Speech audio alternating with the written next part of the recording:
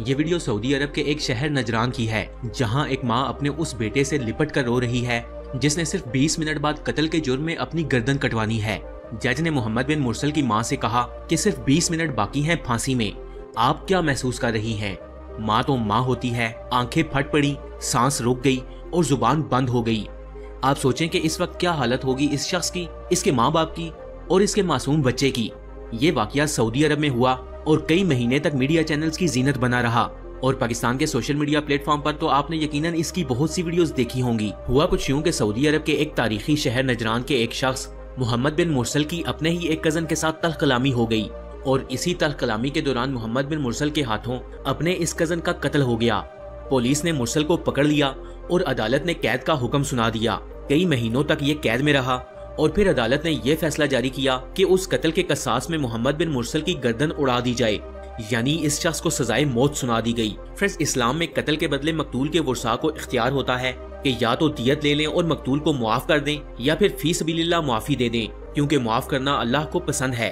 मोहम्मद बिन मुरसल के कबीले अहले रिस्क के बड़े बुज़ुर्गों, जवानों और बच्चों ने फैसला किया कि हम मक, यानी आले सनीज के कबीले से जाकर माफ़ी मांगेंगे और दरख्वास्त करेंगे कि वो हमसे दियत ले लें, या फिर उनकी ख्वाहिश के मुताबिक अगर उनकी कोई डिमांड है तो वो हमें बताएँ और उसके बदले मोहम्मद बिन मुरसल, यानी कातिल को मुआफ कर दें।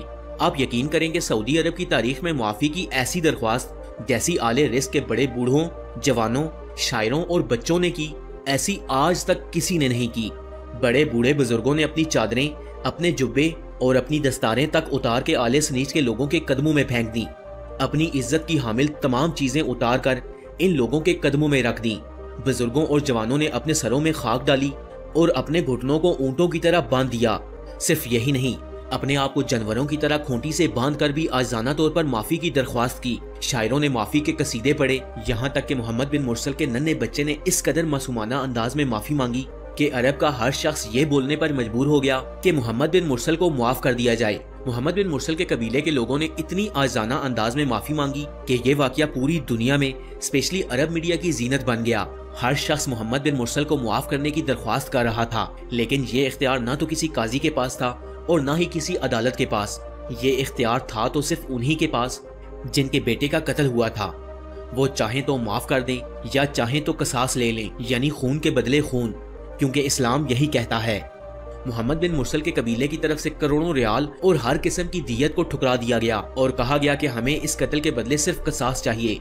इस्लाम के कानून की खूबसूरती यही है कि वहाँ के कानून के मुताबिक हर छोटा और बड़ा बराबर है। मकतूल के वर्षा ने मोहम्मद बिन मुरसल को माफ़ी न दी और कसास लेने का हुक्म दिया और फिर अदालत ने 20 सितंबर 2023 को मोहम्मद बिन मुरसल की गर्दन कसास में उड़ा दी। फ्रेंड्स शायद ये पहला वाकया था जिसमें वही लोग कातिल के लिए भी रोए और वही लोग मकतूल के लिए भी। शायद ये अरब दुनिया का वाहिद कातिल था, जिसके लिए सारे अरब ने दुआई मांगी। ये शायद वो वाहिद कातिल था, जिसकी रिहाई के लिए इसके माँ बाप और बच्चे के साथ साथ पूरा अरब रो पड़ा।